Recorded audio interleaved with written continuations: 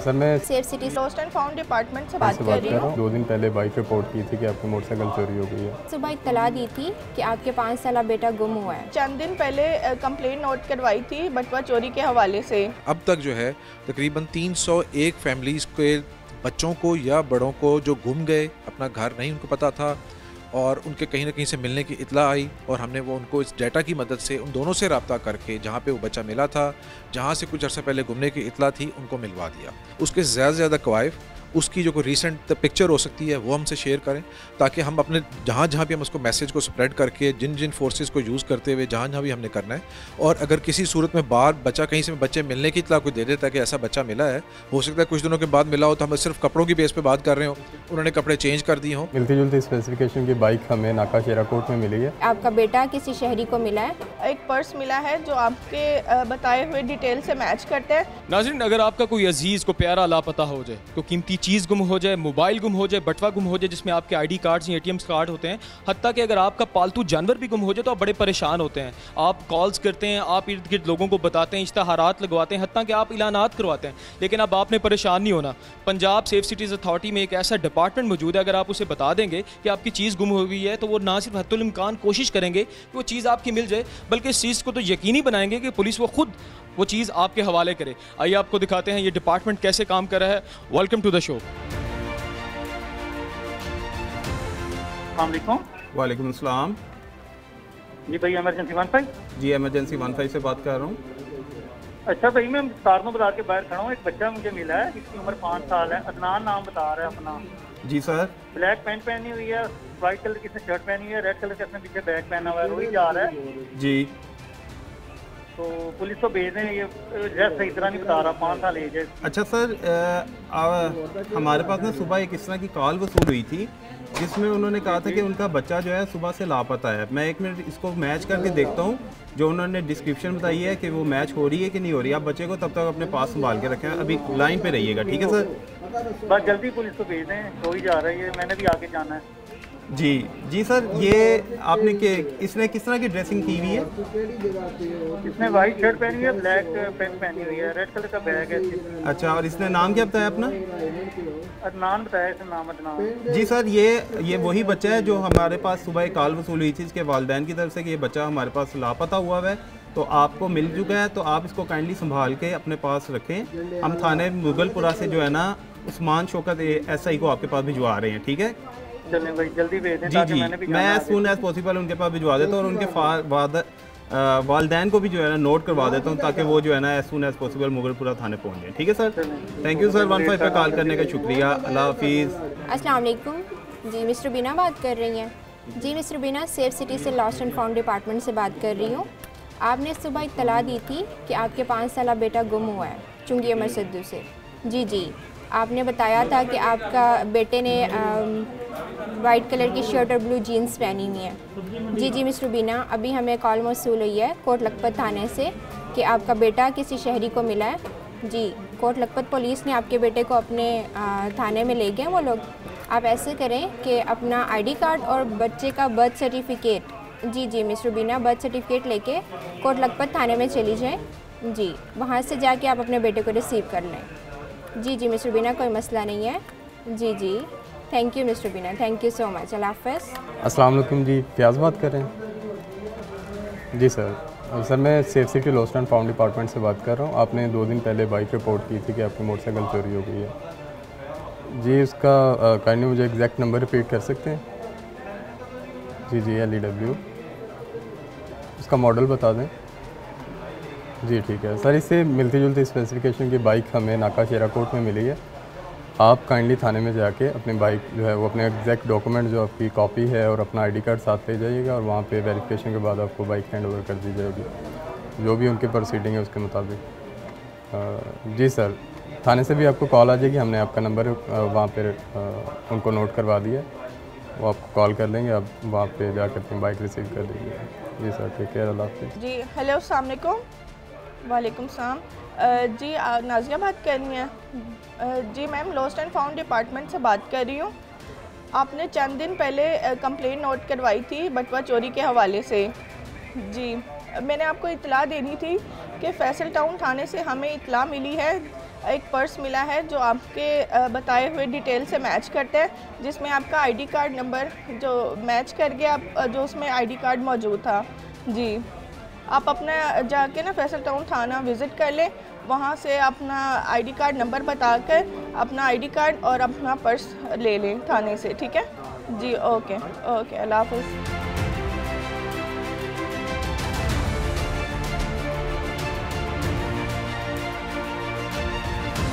Lost and found centre से लोगों की मदद करने वाले पुलिस कम्युनिकेशन ऑफिसर से बात करते हैं कि कितना आसान है किस तरह के लोगों को हेल्प आउट करते हैं और जो जब चीज़ें मिलती हैं लोगों की खुशी कितनी दीदनी होती है। जी अस्सलाम तमीना।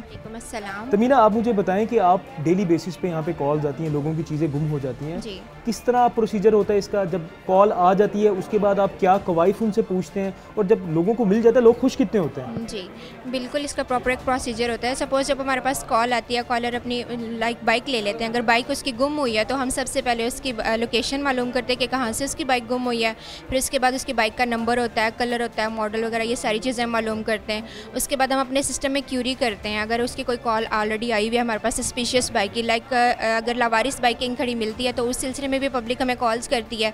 फिर हम मैच करते हैं बाइक की डिटेल्स को, अगर मैच हो जाती है तो फिर हम जिस थाने की हदूद में वो बाइक खड़ी होती है, जहाँ से वो मिली होती है लावारिस बाइक उस थाने की पुलिस को हम इतला देते हैं कि ये चोरी की बाइक है, इसे आप अपने उसमें ले लें हिरासत में ले लें। ठीक है जब पुलिस उसे रिसीव कर लेती है तो फिर हम उस कॉलर को कॉल करते हैं जिसकी बाइक गुम हुई होती है। ठीक है उसको इतला देते हैं तो उसकी खुशी हम एक्सप्रेस नहीं वो ना तो वो खुद कर पा रहा होता है ना हम खुद को उसको मतलब कर पा रहे होते हैं। दुआएँ होती हैं उसकी मतलब एक मिले जुले से जज्बात होते हैं उस नाजरीन लॉस्ट एंड फाउंड सेंटर काम कैसे करता है? कितनी देर में कॉल को प्रोसेस किया जाता है और लोगों को क्या क्या चीज़ें मिल जाती हैं इससे?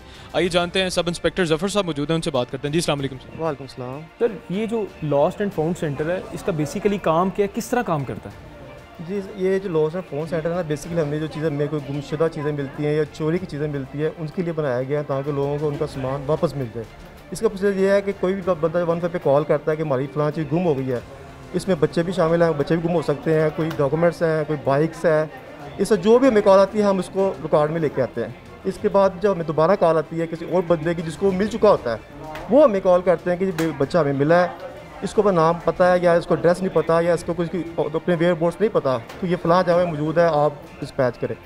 फिर हम दोनों कॉल्स को आपस में कोऑर्डिनेट करते हैं उनका एनालिसिस करते हैं फिर पता चलता है कि ये कॉल हमारे पास आई हुई है। फिर हम वहाँ पे डिस्पैच करते हैं प्रॉपर तरीके थाने से फिर जिस बंदे ने पहले कॉल की होती है जिसकी वो चीज़ गुम हुई होती है वो वहाँ पे आता है वो अपनी चीज़ को आइडेंटिफाई करता है कि हाँ ये मेरी चीज़ है ये मेरा बेटा है ये मेरी बेटी है।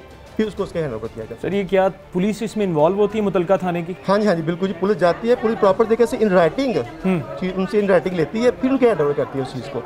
चाहे वो कोई भी चीज़ हो जानदार हो बेजान हो जिसमें डॉक्यूमेंट्स हैं बाइक्स हैं बच्चे हैं कोई भी। लोगों के पालतू जानवर भी वो बता रहे थे बिल्कुल ऐसे ही बिल्कुल ऐसे ही ऐसे ही है ऐसे ही thank you so much Zafar साहब थैंक यू सो मच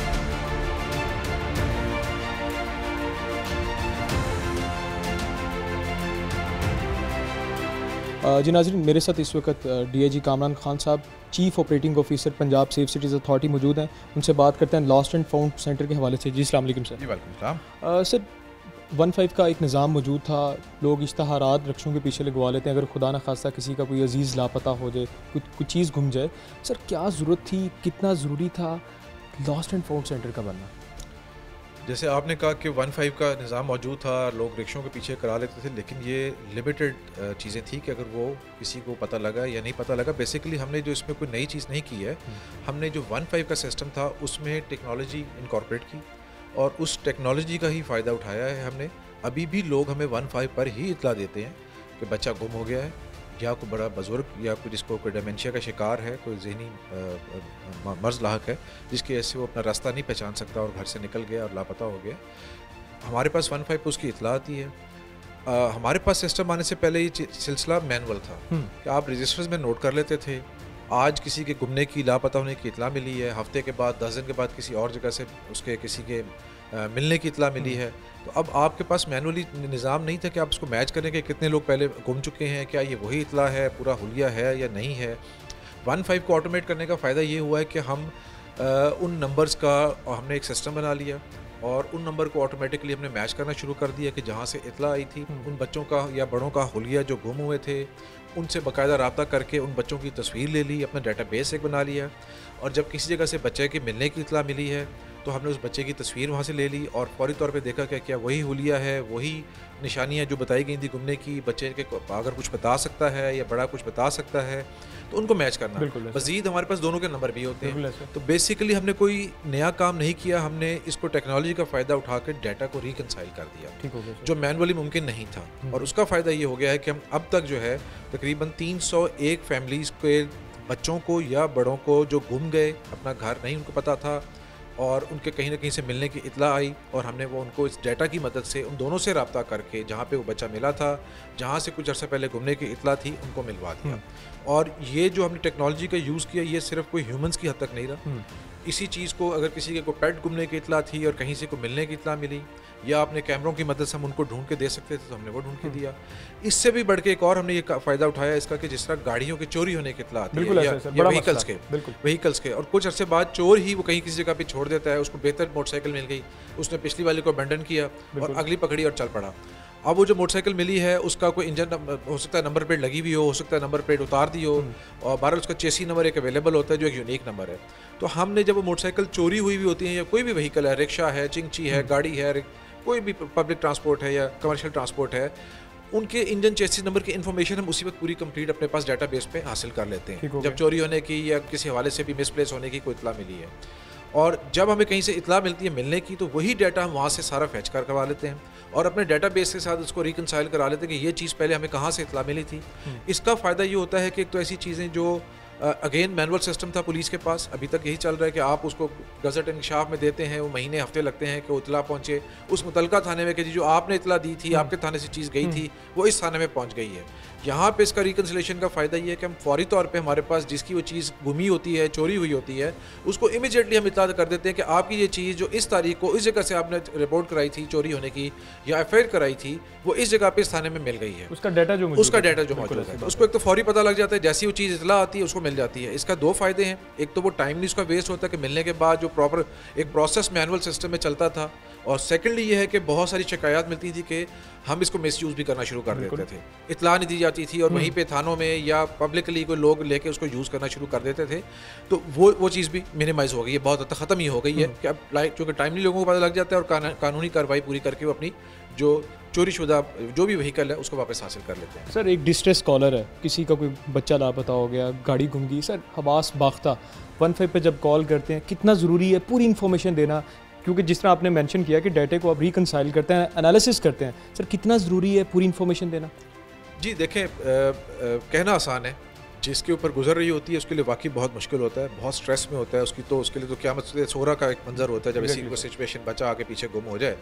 तो बहरहाल बहरहाल कोशिश ये करनी चाहिए कि अपने बच्चे को होश और आवाज़ को कायम रखते हुए अपनी जो एफर्ट वो अपने लेवल पे कर रहे हैं और जो एफर्ट वो हमारे से मांगते हैं हम उसी सूरत में कर सकते हैं कि हमारे पास उसके जो घूमने वाला बड़ा है या बच्चा है उसके ज़्यादा से ज़्यादा कवायफ उसकी जो कोई रिसेंट पिक्चर हो सकती है वो हमसे शेयर करें ताकि हम अपने जहाँ जहाँ भी हम उसको मैसेज को स्प्रेड करके जिन जिन फोर्सेस को यूज़ करते हुए जहाँ जहाँ भी हमने करना है और अगर किसी सूरत में बाद बच्चा कहीं से बच्चे मिलने की इतला कोई दे देता है कि ऐसा बच्चा मिला है हो सकता है कुछ दिनों के बाद मिला हो तो हम सिर्फ़ कपड़ों की बेस पर बात कर रहे हो। उन्होंने कपड़े चेंज कर दिए हों। तो जो भी कोई निशानियाँ हो सकती हैं कि बच्चे को क्या पता है क्या बात कर सकता है उसे क्या पूछा जा सकता है तस्वीर खैर सबसे बड़ा आइडेंटिफिकेशन है ऐसी बात है जी। तो वो वो इन्फॉर्मेशन हमारे साथ ज़रूर शेयर करें ताकि हम ढूँढने में उनके मावन साबित हो सकें और जहाँ जहाँ जिन लोगों के ज़रिए हमने ये फोर्सेस के ज़रिए इसको ढूंढवाना है उनको भी इक्विप कर सकें कि ये बच्चा है पब्लिकली भी और ऑफिशियली भी जहाँ से भी इसको जो भी रिसोर्सेज डिप्लॉय करने हैं वो अकॉर्डिंगली डिप्लॉय हो सके।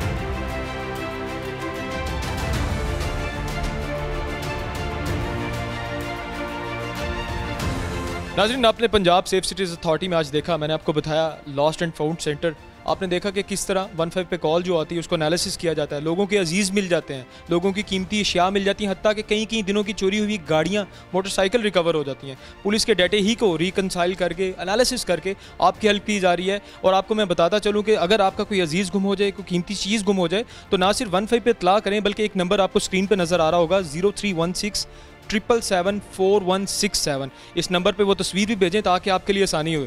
सेफ़ रहें सेफ़ सिटी के साथ। मुझे उमर बख्त को इजाज़त दीजिए। अल्लाह ने के बाद